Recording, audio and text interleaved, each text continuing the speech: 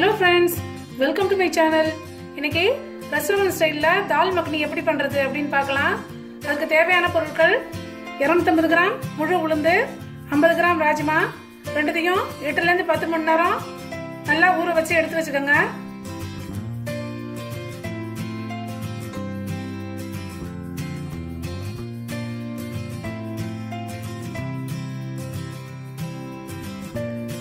தால் கூட சேர்ந்து வேக போகிறதுக்கு ரெண்டு பட்டை ஒரு பெரிய ஏலக்காய் ஒரு சின்ன ஏலக்காய் நாலு கிராம்பு ரெண்டு பிரிஞ்சி இலை தாளிக்கிறதுக்கு மூணு வரமிளகாய் ஒரு பிரிஞ்சி இலை ஒரு ஏலக்காய் அரை ஸ்பூன் ஜீரகம். இன்க்ரீடியன்ஸ் நிறைய இருக்கிறதுனால கன்ஃபியூஸ் ஆகும். அதனால தனித்தனியாக காட்டியிருக்கேன். ஒரு வெங்காயம் நாலு தக்காளி. இது ஹைபிரிட் தக்காளிங்கிறதுனால நான் நாலு தக்காளி எடுத்திருக்கேன். உங்களுக்கு புளிப்பு எவ்வளோ தேவையோ அதுக்கு தகுந்த மாதிரி மூணு இல்லாட்டி நாலு எடுத்துக்கோங்க. ரெண்டு பச்சை மிளகாய் கீரி வச்சுருக்கேன். ஒரு ஸ்பூன் காஷ்மீரி மிளகாத்தூள் அரை ஸ்பூன் நார்மலாக உள்ள மிளகாத்தூள் இந்த காஷ்மீரி மிளகாத்தூள் ரொம்ப காரம் இருக்காது அப்படிங்கிறதுனால நான் ரெண்டுத்தையும் சேர்த்து எடுத்துருக்கேன். ரெண்டு ஸ்பூன் கொத்தமல்லி தூள் அரை ஸ்பூன் கரம் மசாலா ஒரு டேபிள் ஸ்பூன் கசூரி மேத்தி ஒரு டேபிள் ஸ்பூன் இஞ்சி பூண்டு பேஸ்ட்டு மூணு டேபிள் ஸ்பூன் எண்ணெய் தேவையான அளவுக்கு உப்பு எழுபத்தஞ்சு கிராம் வெண்ணெய் அரை லிட்டர் ஃபுல் க்ரீம் மில்க்கு ஒரு tablespoon fresh cream garnishing பண்ண கொஞ்சம் கொத்தமல்லி தர உளுந்தும் ராஜமாவும் நல்லா ஊறிடுச்சு. இப்போ இது ரெண்டு கையாலையும் நல்லா தேய்ச்சி ரெண்டு மூணு தண்ணி ஊற்றி நல்லா வாஷ் பண்ணி எடுத்து வச்சுக்கோங்க. நல்லா கலர் போகிற வரைக்கும் இதை மாதிரி க்ளீனாக வாஷ் பண்ணி எடுத்து வச்சுக்கோங்க. வெங்காயம் தக்காளியை இதை மாதிரி பெருசாக வெட்டி வச்சுக்கோங்க. இதை மிக்சியில் போட்டு அரைச்சி எடுத்துக்கலாம். இப்போ ஜாரில் சேர்த்துடலாம்.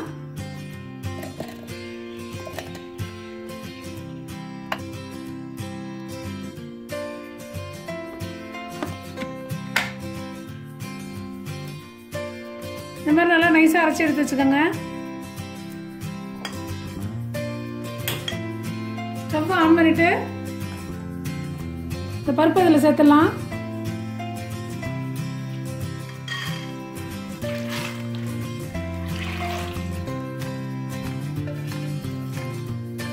பருப்பை சேர்த்துட்டு இது கூட பட்டை பெரிய ஏலக்காய் சின்ன ஏலக்காய் பிரிஞ்சி இலை கிராம்பு இது எல்லாத்தையும் சேர்த்துருங்க. இதோட அரை ஸ்பூன் உப்பு சேர்த்துக்கலாம்.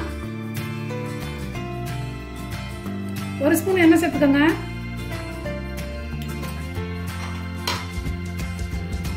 தேவையான அளவுக்கு தண்ணி சேர்த்துக்கலாம். அப்படி இல்லைன்னா பருப்புக்கு மேலே ஒரு இன்ச்சு தண்ணி நிற்கிற மாதிரி ஊற்றிக்கோங்க இப்போ இதை மூடிடலாம்.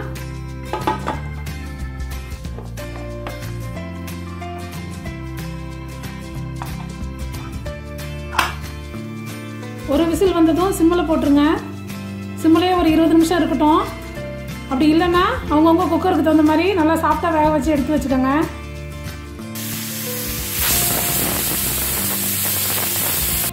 ஒரு விசில் வந்துருச்சு இப்போ சிம்மில் போட்டுடலாம். இருபது நிமிஷம் ஆயிடுச்சு இப்போ அடுப்பை ஆஃப் பண்ணிடலாம். ப்ரெஷர் அடங்கிருச்சு இப்போ பார்க்கலாம்.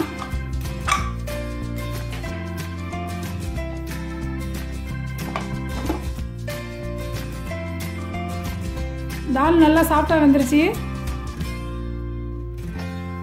அடுப்பை ஆன் பண்ணிடுங்க. அடுப்பை ஆன் பண்ணிவிட்டு இந்த பால் இதில் ஊற்றிடலாம்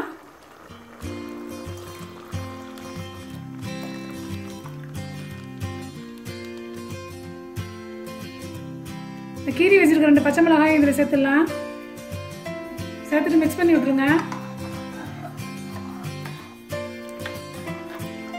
ரெண்டு மூணு நிமிஷத்துக்கு ஒரு தடவை நல்லா கிண்டி விட்டுக்கோங்க. கொதி வந்துருச்சு. இப்போ இதை கொஞ்சம் மீடியம் ஃப்ளேமில் வச்சுக்கோங்க. வச்சுட்டு ரெண்டு மூணு நிமிஷத்துக்கு ஒரு தடவை நல்லா கிண்டி விட்டுக்கோங்க. இதை வேற அடுப்பில் மாற்றிக்கிட்டு தாளிச்சுக்கலாம்.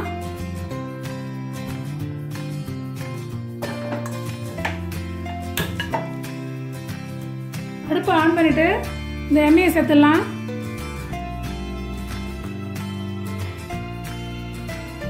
எண்ணெயை சேர்த்துட்டு இருபத்தஞ்சு கிராம் பட்டர் இதோடய சேர்த்துக்கோங்க.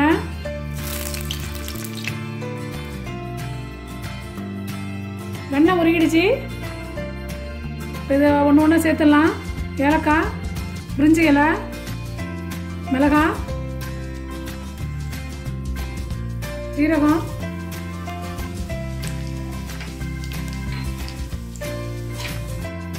சேர்த்துட்டு மிளகாத்தூள் சேர்த்துடலாம்.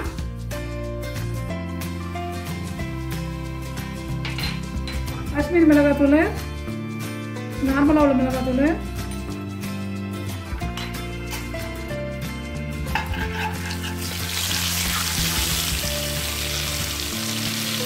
அரைச்சி வச்ச பேஸ்ட்டு இதில் சேர்த்துடலாம்.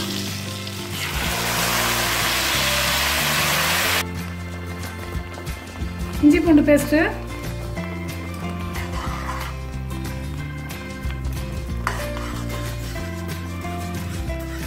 பேஸ்ட் நல்லா வதங்கட்டும்.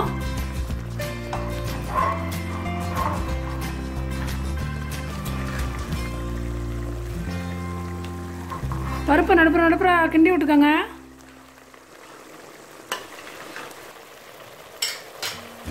ரெண்டு நிமிஷம் வதக்கிட்டு மசாலாவை சேர்த்துடலாம். கொத்தமல்லி தூள் கரம் மசாலா. கசூரி மேத்தி. தேவையான அளவுக்கு உப்பு.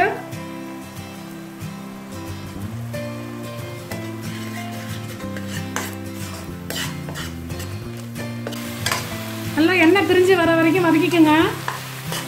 எண்ணெய் நல்லா பிரிஞ்சு வந்துருச்சு. இப்போ இந்த தாளை இதில் சேர்த்துடலாம்.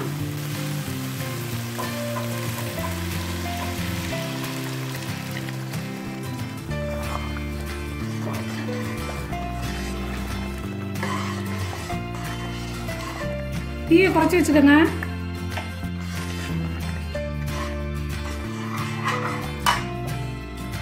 இன்னொரு இருபத்தஞ்சு கிராம் பட்டரையும் இதில் சேர்த்துடலாம்.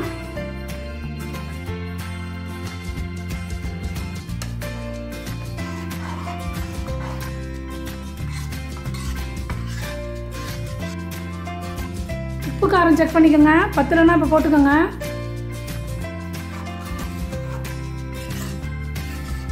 எல்லாத்தையும் சேர்த்து அஞ்சு நிமிஷம் சிம்லேயே இருந்துச்சு.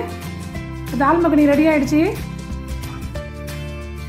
நல்லா வ- தால் நல்லா வெந்திருக்குது. நல்லா க்ரீமியாகவும் இருக்கு. இப்போ இதை ஆஃப் பண்ணிடலாம். பால்லேயே வேக விடுறதுனால க்ரீம் இப்போ போடணும்னு அவசியம் இல்லை. மேலேருந்து நீங்கள் க்ரீம் ஊற்றிக்கிட்டா போதும். இல்லை நீங்கள் பால் வேணாம்னு நினச்சிங்கன்னா ஒரு மூணுலேருந்து நாலு டேபிள் ஸ்பூன் இறக்கிறதுக்கு முன்னாடி க்ரீம் சேர்த்துக்கோங்க. இப்போ ஒரு பவுலில் எடுத்துக்கலாம்.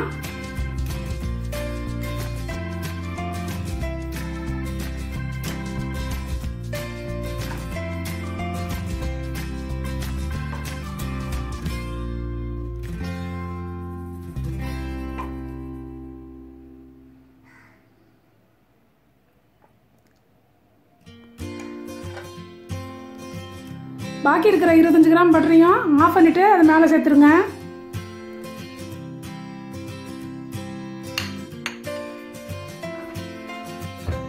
பட்டரை சேர்த்துட்டு கொஞ்சம் மேலே கொத்தமல்லி தூவிக்கலாம். கொத்தமல்லியை நல்லா நைஸாக வெட்டி வச்சுக்கோங்க. ஃப்ரெஷ் க்ரீம் இதில் சேர்த்துக்கலாம்.